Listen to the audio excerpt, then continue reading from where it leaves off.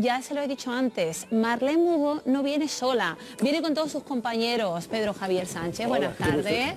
Que antes, antes no he dicho tu nombre. No pasa nada. Pero es que te voy a decir la verdad que no me acordaba. No te y digo antes de decirlo mal, espero después. Pues un placer conocerte. Igualmente. Marlene, que ya lo hemos Bueno, visto antes, Candela Márquez, buenas tardes. Ahora Candela Y Francisco, y Francisco, Francisco Florido. Florido, que además de actor es director. Sí. Se estrena con esta obra. Sí, Y sí, guionista, estrena. es el que ha escrito la obra. O sea, Sí, el- sí. el al- bueno, que mañana la estrenáis en Jerez de los De Caballeros, los Caballeros. a las 9 de la noche.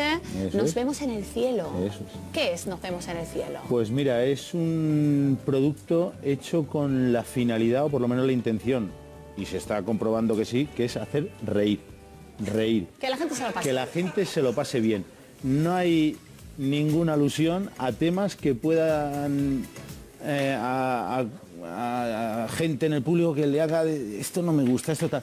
Ni tema político, ni tema soez, ni, vulgaridad. palabrotas, ni vulgaridad. Entonces es una comedia, yo lo estoy hablando mucho, eh, como yo trabajé mucho con gente como Quique Camoiras y tal, que lo tengo ahí.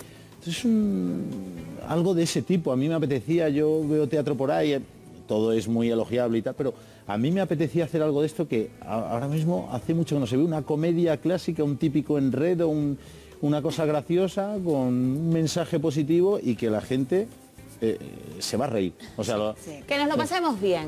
eso ¿Cómo no se van a reír con Pedro? Que, que es el monstruo de la obra, que No, nada pues- más hace un pase, dice una cosa, una palabra, ja, ja, ja, ja, todo el mundo muerto de No, risa. pero porque soy muy feo, no por otra cosa.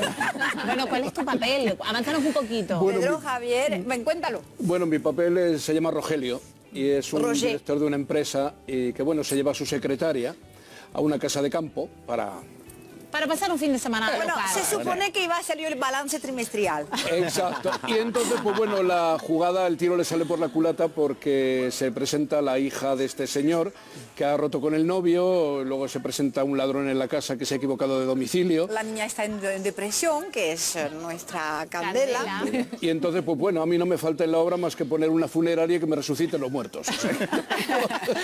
Pero para pasarlo bien, reírse mucho. Candela, tú eres esa hija. De Esa hija un jefe, poco deprimida. Y repelente. Llega a ser un poco repelente, sí. Es muy bipolar.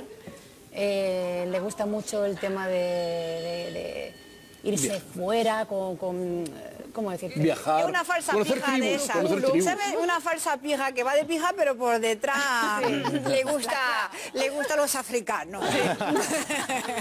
Oye, por cierto, que tú tienes raíces extremeñas. Eso es. No el personaje, Candela, tu padre es de Cáceres. De Cáceres, sí. Y habías venido más veces por Extremadura. He venido dos veces, creo. Dos, tres.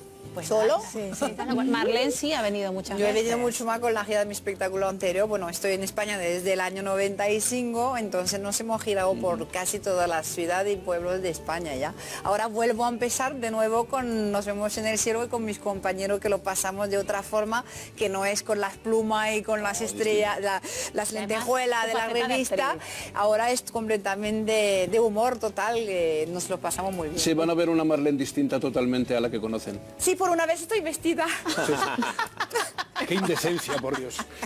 Bueno, no, por una vez no, que te hemos visto siempre muy bien vestida. Yo te recuerdo, yo te recuerdo, Marlene, con Jordi Estadella en el semáforo, Sí. que en paz descanse. Bueno, y te recuerdo igual que ahora, ¿eh? Estás Ay, sí, no tienes que decir el secreto. Si te metes en formol, lo que haces por las noches Bueno, para se estar ha así de pasado bien. ya casi 20 años ya. 19 llevas en España, ¿no? 19 en España, sí, sí.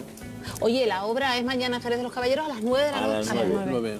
en el teatro Balboa. Cine Teatro Balboa y nada, a las 9 de la noche una sola función y un precio muy baratito, muy asequible. Hay que ir a verla. Y- Sí. tienen que No se lo puede perder nadie, una nadie. función hoy, o sea que- Nosotros hemos dicho, bueno, tengo que decir que hemos dicho al principio del programa que regalábamos dos entradas Sí. para la función. Nos ha llamado muchísima gente y ya tenemos ganador del sorteo, ¿lo podemos decir? Sí. Servando de Barcarrota se lleva esas dos entradas para ver mañana bien. a Pedro Javier, a Marlene, a Francisco. Yo le espero en mi camerino para darle un beso. Ah, sí, Servando. Haber que lo ha prometido Marlene. Sí, sí, Vas claro. y te sacas una foto con ella. A lo mejor la prefiere con Pedro, ¿eh? No, lo prefiere con mal gusto Pedro- tendría que tener el pobre hombre. No, no, no. No, tampoco... Oye, muchísimas gracias por estar con nosotros. Un placer, Lola. Suerte mañana, aunque a los actores se les dice otra cosa, ¿no? Sí, Mucha mierda, ¿no? Mucha M. Que, oye, que, que vol- que volváis muchas veces más a Extremadura, que que, sí. mañana en Jerez sea todo un éxito y cada vez que paséis por aquí, a hacer parada en este plato, que estamos encantados de recibiros. Pues claro que sí, además, mira, yo la última vez que estuve en Mérida fue hace poquito, poquito con el musical de Alicia en el País de las Maravillas. Y la verdad, siempre digo que cuando vienes a Extremadura, y no lo digo por peloteo, lo digo porque me nace de aquí, no vas a hacer teatro, vas a, a examinarte de teatro, que es muy distinto. Que aquí la gente sabe mucho, ¿verdad? sí, Muy sí, bien. sí, muy aquí hay mucha gente buena, de aquí han salido grandes Claro que actores. Gracias de verdad, chicos. Un placer. Gracias a Que mañana en sea todo un éxito, un plan, desde luego, para mañana maravilloso.